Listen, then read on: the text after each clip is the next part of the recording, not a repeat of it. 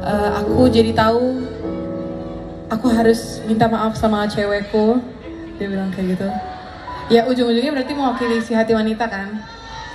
Dia bilang terutama di lagu ini yaitu lama-lama